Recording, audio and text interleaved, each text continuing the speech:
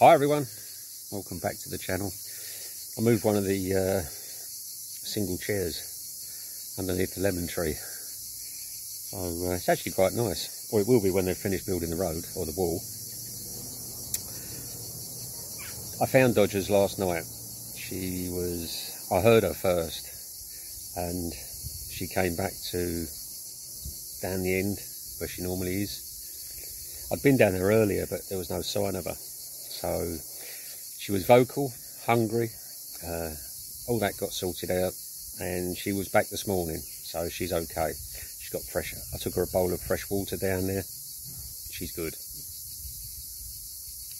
Don't know what happened for those few days, but uh, as I say, she's safe. Mum cat, I got. She got fed this morning, but the babies have been moved again. Uh, the shuttering or part or the end part of it is all lying on the floor. So it was strong winds last night. It looks like it's been moved. So but I didn't see the babies this morning. Uh, what else? Momo has developed um, a black spot patch to the side of her eye so I need to see the vet later and also find out about Dipper and his pills long term and tell her about his eye. I don't think there's anything that can be done about his the eye. It's deteriorating. It's been deteriorating for some time. It's sad, but we'll deal with it.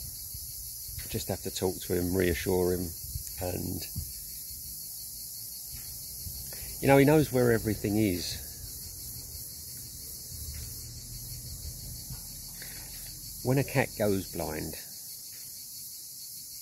even if a cat has had partial sight and it goes blind, it's a completely different ball game to when they are born blind. I had it with a cat called Patch. He was one-eyed and when he was 12, he went blind completely and although he kept although he dealt with it and he was he was here when he went blind he never had the same confidence as the other babies that were born blind. He went around slowly and well he, he just took everything slowly. He wouldn't climb up trees he climbed up onto the rock, the small rock in the garden that you all know, um, but he never he never went up any height.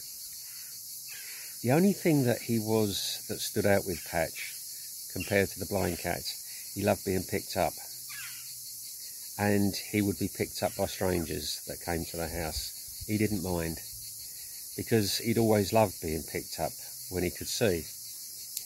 The blind cats will not be soon as a stranger, if a stranger comes into the house for any, any reason, uh, they go low to the floor and they run. So I can't have people just turning up. I have to say to them, even if it's a delivery, I will meet them at the gate and say, listen, just let me get the cats put in because they uh, are terrified. William is one of the worst.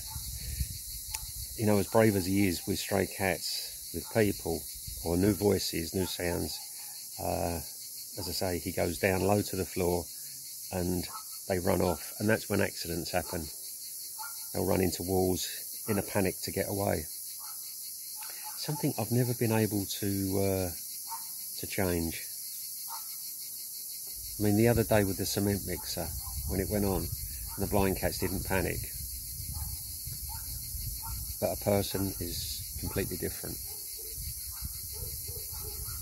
I wonder if it's in their instincts. Don't know.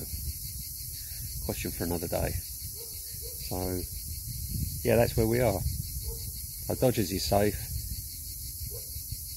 Momo's needs investigation, and uh, Dipper need to keep an eye on. So we will see you all again very soon, everyone.